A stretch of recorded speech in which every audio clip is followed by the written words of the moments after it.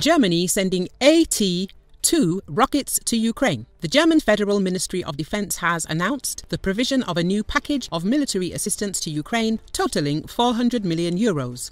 Support will be provided where it is most needed, the ministry's press service said in a message. Thus, in order to strengthen Ukraine's capabilities to intercept remotely installed mines, it is planned to transfer 30,000 150mm artillery explosive shells, about 3,800 smoke ammunition for 155mm artillery, 105,000 120mm explosive ammunition, smoke and lightning mortar shells, as well as 480 AT-2 rockets.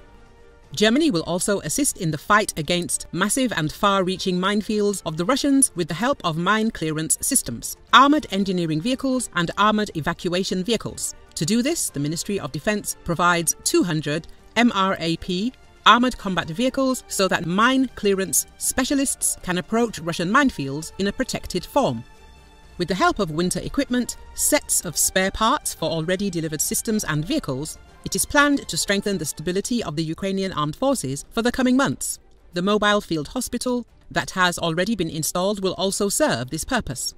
In addition, 50 surface drones will help repel the aggressor not only on land but also at sea. Individual projects will be implemented through donations from the Bundeswehr reserves, as well as jointly with individual partners. The promised equipment should be provided to Ukraine as soon as possible.